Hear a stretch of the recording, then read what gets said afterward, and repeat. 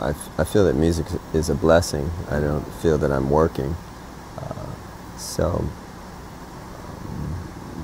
when I'm not quote unquote working, I'm Mhm. thinking about it. I'd, I'd like to believe that uh, I have it pretty well mastered. I'm always learning though. Mhm. Uh, I like to believe that it's infinite too. It's obvious that there's an agenda Mhm. uh, against the disenfranchised Mhm. and the uneducated. Mhm. So ultimately, I think uh, to counter that, we're going to have to talk to one another. Mhm. One of the ways we used to do that was through our music.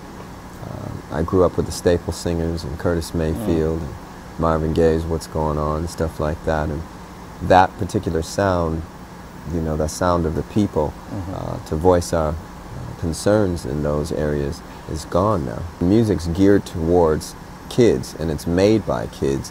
So to really discuss some of these issues with a uh, great sense of wisdom, it's Mhm. going to be a little tricky. Yeah. And you got to live life before you can really uh, uh, talk too much about it. No, every day I'm satisfied. Every day I feel uh, it's a blessing from God and. I consider it a new beginning. So yeah, everything's beautiful.